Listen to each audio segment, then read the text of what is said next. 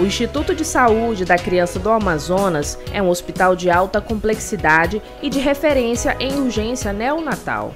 Já são 21 anos funcionando, com 105 leitos de enfermaria e 22 unidades de tratamento intensivo.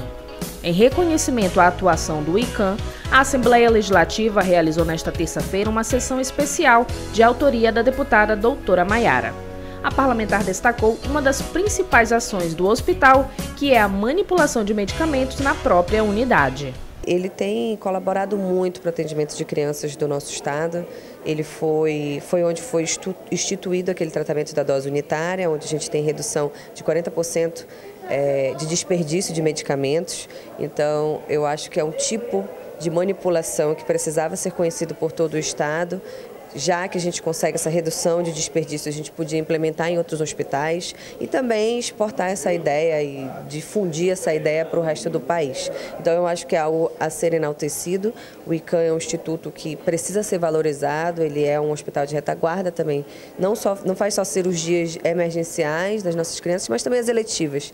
O ICAM realiza em média 20 internações por dia e a lei da capital também atende pacientes de estados como Roraima e Pará.